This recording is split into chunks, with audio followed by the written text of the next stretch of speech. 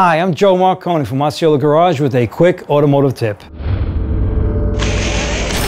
Tire rotation is nothing more than bringing the front tires to the rear and the rear tires to the front.